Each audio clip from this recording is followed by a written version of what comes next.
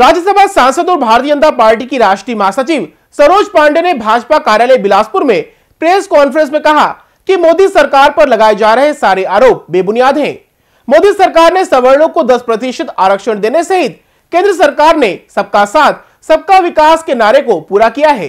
उन्होंने कहा कि भारतीय जनता पार्टी विश्व की सबसे बड़ी पार्टी है, जिसका सबके साथ चलना और विकास ही मुख्य उद्देश्य है। जब उनसे प्रदेश में भाजपा की हार का कारण पूछा गया तो उन्होंने कहा कि हार का सबसे बड़ा कारण कांग्रेस का घोषणा पत्र बना है। उन्होंने इस दौरान नेता प्रतिपक्ष धर्मलाल कौशिक के कार्यकर्ताओं को लेकर दिए बयान पर कहा कि भारतीय जनता पार्टी का हर कार्यकर्ता हीरा है, जीत हार चलती रहती है। इसी प्रदेश में तीन बार जो सरकार बनी है, वो भी कार्यकर्ताओं के दम पर बनी है। उन्होंने कहा कि अगर अब हम हार गए तो वो कार्यकर्ता नकारा हो गए। ऐसा नहीं है। उन्होंने कहा कि तीन तलाक, दस प्रतिशत आरक्षण जैसे महत्वपूर्ण फैसले मोदी सरकार ने लिए हैं। उन्होंने कहा कि पूर्व प्रधानमंत्री में वो क्षमता नहीं थी। महागठबंधन जो हो रहा है, उससे कोई नुकसान नहीं होगा। वो तो भारतीय जनता पार्टी की जीत की उपलब्धि बनेगी। राम मंदिर के मुद्दे पर उन्होंने कहा कि जब भगवान राम चाहेंगे, तभी मंदिर बनेगा।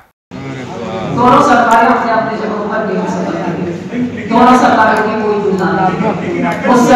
समय पर जब अटल जी काम कर रहे थे तो उनको बहुत से दलों को साथ लेकर चलना था। बहुत से दलों को साथ लेकर चल रहे थे तो बहुत से निर्णय करते समय जब भी कभी कोई नई सरकार आती। है तो प्रजातंत्र से काम करने का मौका मिलता है छह महीने बाद और जब काम करने का उसको मौका मिलता है उसके बाद ही हम उस पर निर्णय कर पाएँगे उन्होंने उचित किया अनुचित हैं किया। बस दिक्कत ही जब तक आप उसे काम एक जन को एक सवाल पूछने का होना चाहिए, एक आदमी एक से दो किसने नहीं। कहा और ये एक स्वाभाविक बात है।